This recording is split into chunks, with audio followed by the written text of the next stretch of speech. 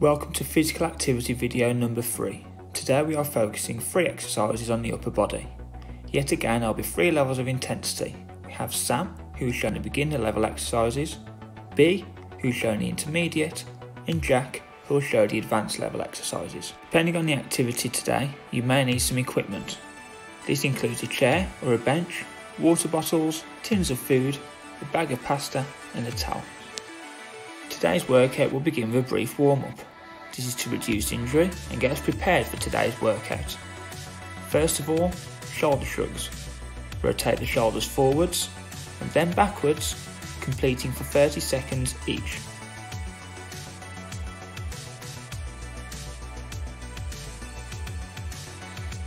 Then, arm crosses. Twist and cross the arms across the body in a controlled way.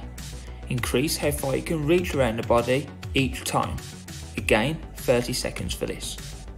Next, swing your arms forwards and then backwards, but not too fast. Maintain control throughout the exercise. Now, our first exercise is bicep curls. For the beginner level, you want to take something relatively light.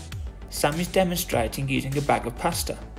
Start with the pasta in one hand by your side Keeping the upper arm stationary, lift the pasta up towards your shoulder, bending at the elbow. Lower back down in a controlled manner and repeat. Maintain control and ensure you are fully extending the arm before bringing it back up. Complete 30 seconds on each arm.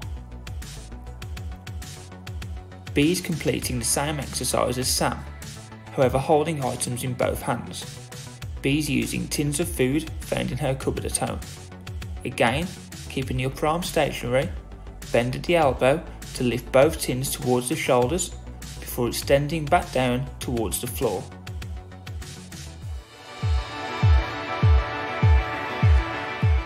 Finally, Jack is showing the advanced level exercise. This is the same movement as the previous two levels, however Jack adds in a shoulder press. So, keep upper arm stationary for the curl and lift the weight up towards the shoulder. When at the top, twist the hands around and push upwards above the head. Return the weight back down to shoulder height and extend the arm down to the side of the body. Now repeat. When completing biceps curls, be sure not to start with too heavy a weight. Use an object you can comfortably hold and lift, increasing the weight as you develop your strength.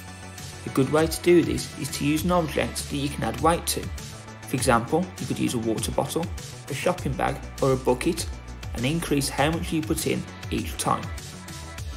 Bicep curls can be done either seated or standing. Try to maintain the movement for the full 30 seconds, completing each rep at the same speed.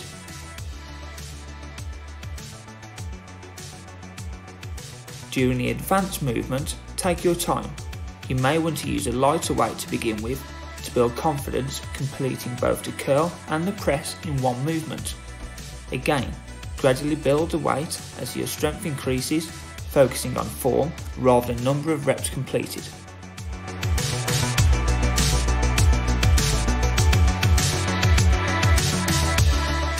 Today's second exercise offers three variations of press ups. Complete 30 seconds of reps before taking a 15 second rest.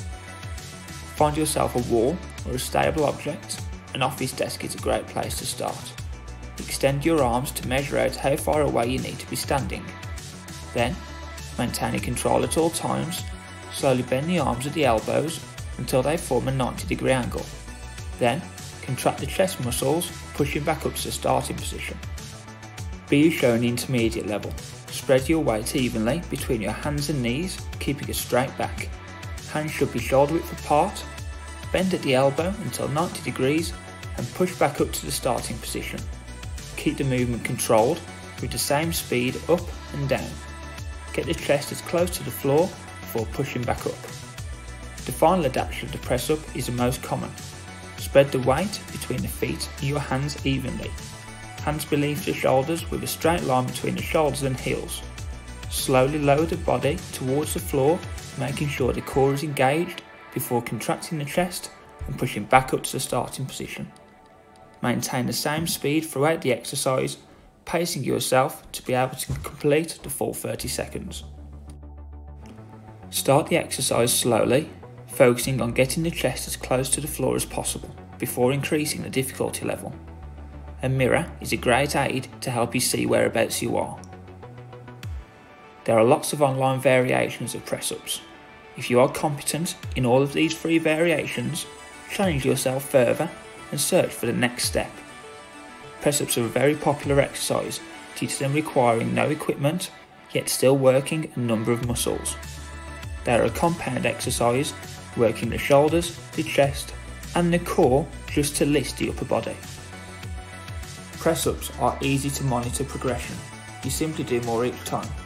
However, correct form is always more important than how many you can do.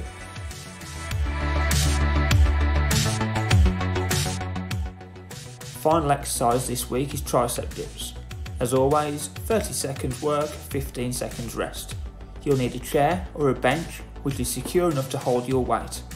If possible, put it against the wall to stop the legs moving. Sam is showing us the beginner exercise. Start with your hands on the edge of the seat with your legs out in front of you. Bend your legs to start. Slowly bend at the elbows to lower the body towards the floor until at a 90 degree angle and once at the bottom, press down on the bench to straighten the arms. Be shown the exact same exercise, but keep your legs straight out in front of you. With this, more weight is being put through the upper body and more strength is required to push the body back up. Be sure to keep the back close to the chair when lowering. You don't want to be reaching too far away from the body as this can cause shoulder injuries. Jack is showing a more advanced exercise. For this you'll need two chairs or something similar. The position for the hands is the same as the past two exercises, however now you want to elevate your feet out in front keeping your legs straight. Lower the body by bending at the elbows until you are at 90 degrees. Push back up through the hands until you are back in the starting position.